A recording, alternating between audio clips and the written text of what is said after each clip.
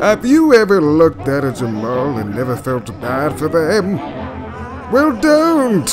Adopt a ghost Jamal today.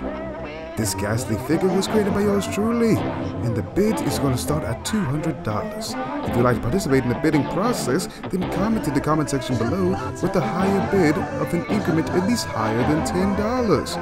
At the person when you're going to outbid them so that they know that you've outbidded them. Get this Jamal out of my hair and into yours.